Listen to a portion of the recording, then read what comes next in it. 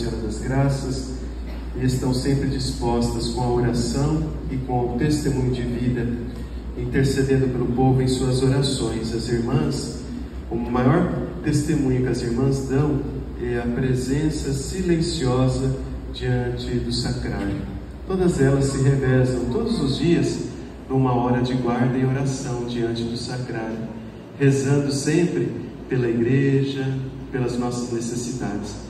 Então, que nós também possamos sempre retribuir esse carinho rezando por elas. Vamos confiar em nossas irmãs que, ao comemorar 60 anos, 66, 66 anos de fundação, que não lhes falte o auxílio divino e também vocações. Rezemos juntos.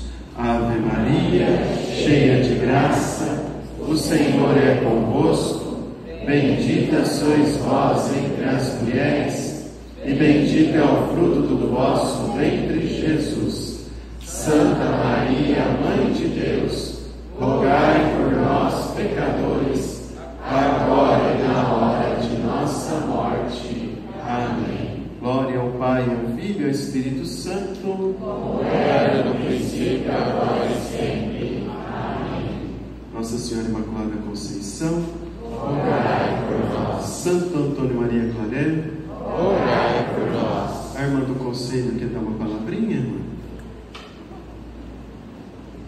Eu sou Marieta, da Eslovênia, falo um pouco português, isso não posso vir mais. Obrigada para carinho e parabéns para nós. Não?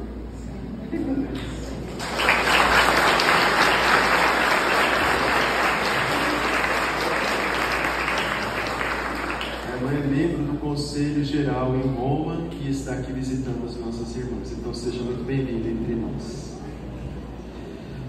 O Senhor esteja convosco. Ele está no meio de nós. As irmãs, vamos estender junto as mãos assim, em direção à comunidade, para abençoar a comunidade. Abençoai, Senhor, o vosso povo, que espera o dom da vossa bondade, e realizai os desejos que foram inspirados pela vossa generosidade, por Cristo nosso Senhor.